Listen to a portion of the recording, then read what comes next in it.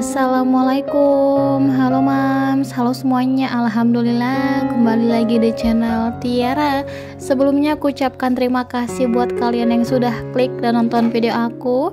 Nah ini bun adalah eh, video sambungan Setelah aku belanja mingguan dan food prep. Ini aku masaknya agak kesiangan ini ya bun ya. Sibuk banget. Aku tadi ngurusin sayuran Semuanya lah ya eh, Belanja mingguan Kali ini mau bikin agar-agar atau puding coklat ini sebungkus kecil aja. Kemudian aku kasih gula pasir 2 sendok makan ya bun.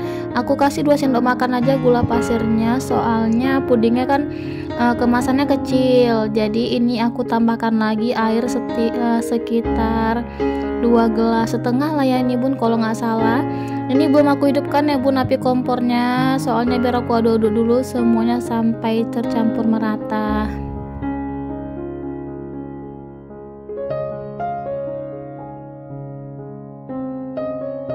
Oke, setelah tercampur merata semuanya, barulah aku hidupkan api kompornya ya bun. Nah, di sini aku hidupkan api kompornya kecil aja, karena mau mas agar-agar ya bun, takutnya gosong di bawahnya. Nah, gimana nih bun kabarnya di sana semuanya? Semoga dalam keadaan sehat selalu ya, uh, lancar terus rezekinya dan bahagia selalu. Amin amin ya Allah. Buat kalian yang baru datang, yang baru mampir, halo bunda dan semuanya, salam kenal ya bun dari aku Tiara, mama muda anak tiga rapat-rapat di kota Medan. Semoga isi videoku bisa bermanfaat ya bun. Di sini aku sharing kegiatan aku sehari-hari sebagai ibu rumah tangga yang ada di kontrakan 3 peta. Oke bun ini dia udah mendidih dan aku tadi cicipin rasanya tuh pas nggak kemanisan. Soalnya aku takut banget ya bun kemanisan. Makanya aku kasih gulanya tuh 2 sendok makan aja. Dan ini karena dia ukuran kecil kemasannya aku pakai cet, uh, cetakannya pun yang kecil juga ya. Ini masih panas jadi aku letak aja lah bun di dekat jendela kompor ini. Soalnya lagi berangin-angin biar cepet dingin tentunya Nah ini aku mau lanjut bikin masak menu harian. Ini baru sempat masak Jadi kali ini mau masak bayam aja lah ya. Ini bayam aku kalau nggak salah udah ada lah ya bun. Lebih dari tiga hari atau empat hari. Alhamdulillah wa syukurillah aku nih masih uh, Aku nih perhatikan masih hijau ya bun Untuk uh, bayamnya. Tengok lah nih kan Masih hijau gitu dia. Masya Allah bun. Alhamdulillah banget rasanya ya. Jadi makanya aku nggak beli tambahan sayuran yang hijau-hijau lagi Karena masih ada bayam Oke lah di sini kayaknya pun aku perhatikan masih banyak banget. Jadi ini aku ambil separuh, separuh lagi untuk besok.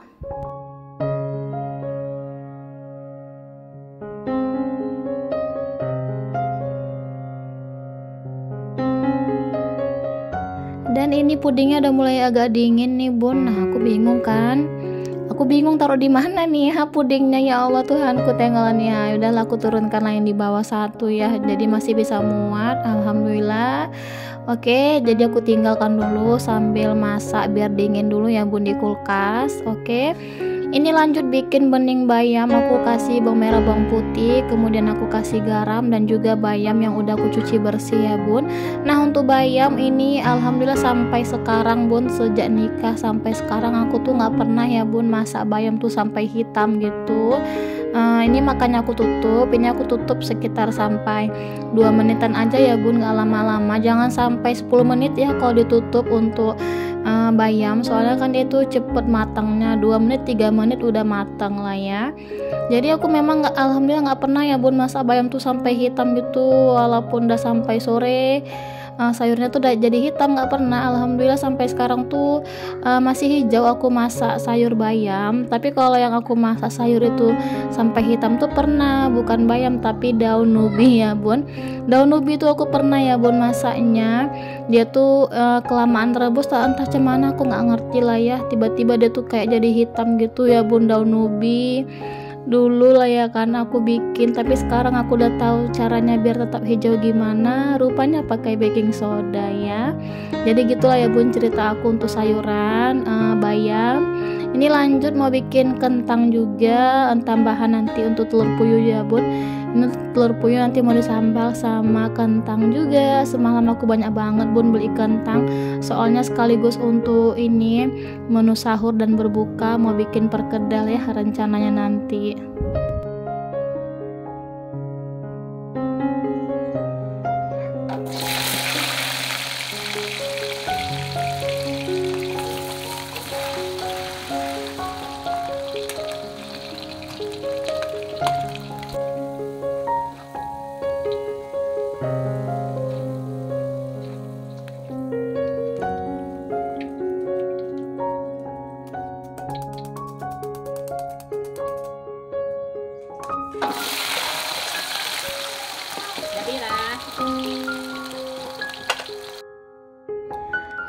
seperti biasa ya bun. Ini sampai sekarang masih masak menu sederhana dari rumah aku. Masya Allah tabarakallah. Sambal kentang campur telur puyuh. Ini kesukaan anak-anak ya bun telur puyuh.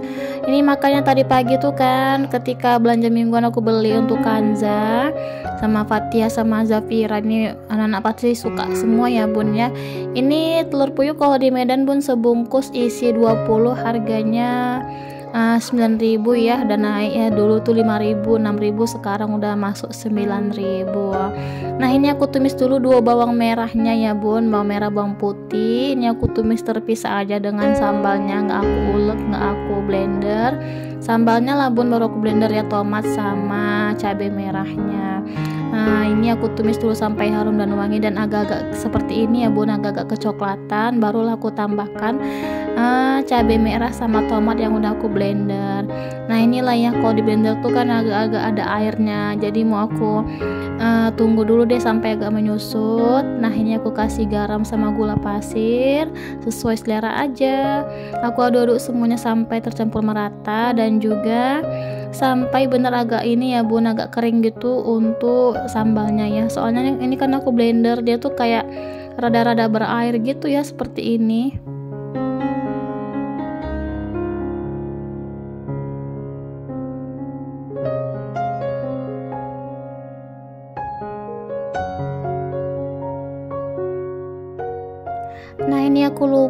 bun aku tadi matikan kameranya. Eh tiba-tiba ada langsung ngelompat ya ini udah menyusut gitu sambalnya. Aku campur lah kentang sama telur puyuhnya ya bun sama bayamnya juga nanti tambahan. Dan ini dia bun Masya Allah tabarakallah menu sederhana dari rumah kami banding bayam sama telur puyuh campur kentang nih bun aku sambal. Ini mau aku ambil puding tadi dari kulkas. Ternyata belum dingin bunda cuman udah keras. Anak-anakku nggak sabar banget ya uh, belum terlalu dingin banget sih bun. Baru-baru satu jam gitulah ya. Tapi ya udahlah ini nggak apa-apa lah. Anak-anak kan kepengen banget ini. Aku buka aja cuman kok payah kali nih ngebukanya ya bun. Nempel kali dia ke loyangnya ini. Kecetakannya ini coba aku kasih sendok dulu lah ya. Nah seperti ini bun kira-kira hasilnya. Ternyata dapatnya sedikit ya kalau kemasan yang kecil. Ya udah sih nggak apa-apa lah ya. Ini lumayan lah bun untuk tambah-tambahan cemilan ya bu untuk anak-anak di rumah. Jadi lengkap lah ya kan ada dessert dessertnya gitu ya kan ala ala restoran. Masya allah tabarakallah bun. Seperti ini aja dah mantap banget ya bun masakan rumahan dari kami. Bening bayam telur puyuh sambal kentang dan juga puding coklat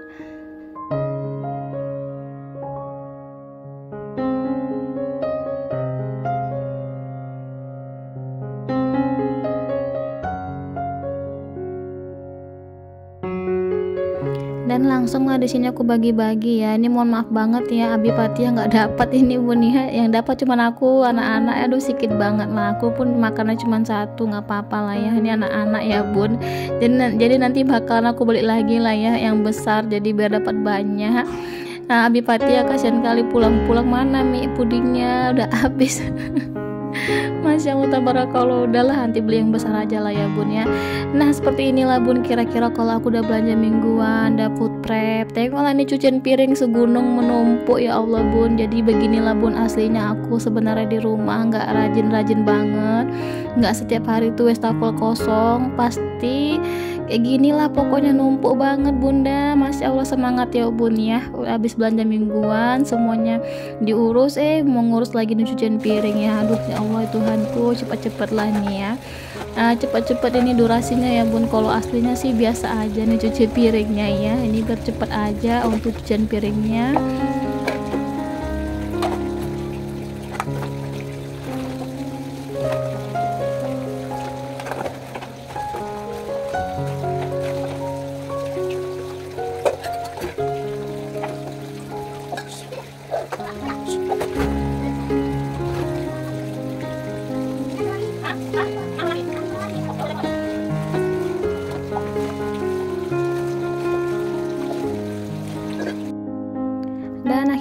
kelar juga nih cucian piring aku. Masya Allah tabarakallah. Ini akhirnya dia jadi bening juga kinclong juga dan putih ya. Masya Allah bun.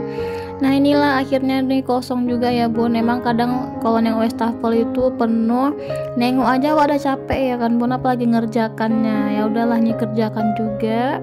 Alhamdulillah semuanya ada masak tinggal cuci piring dan habis ini baru mau ini ya bun cuci bersih untuk uh, tas kakak Fatia sama Kanja sekolah ya. Soalnya udah mulai kotor ini pun mau aku lap-lap juga. Seneng banget lah pokoknya kalau udah nengok dapur bersih kembali ya. Tapi ya di sini memang aku nggak terlalu rajin-rajin banget ya bun. Ya aku kerjakan semuanya pekerjaan rumah sesuai dengan badan aku gitu ya. Kalau lagi semangat semangat kerjakan semuanya. Kalau lagi mager ada magernya juga sebenarnya. Cuman kalau sekali rajin aduh rajinnya ngeri kali bun dari depan sampai belakang semua dikerjakan. Masya Allah masya Allah. Oke ini lanjut. Mau cuci bersih tas kakak Fatih sama Kanja sekolah ini udah mulai agak kotor gitu kan bun. Walaupun nanti jelang puasa bulan Ramadan aku nggak tahu mereka sekolah atau enggak. Ini aku cuci bersih aja lah ya. Biar semangat juga mereka sekolahnya. Ini udah mulai agak-agak ini timbul-timbul binti-binti hitam. Aku takut nanti dia tuh nempel susah hilangnya. Lebih lebih baik sekarang aja aku kerjakannya bun ya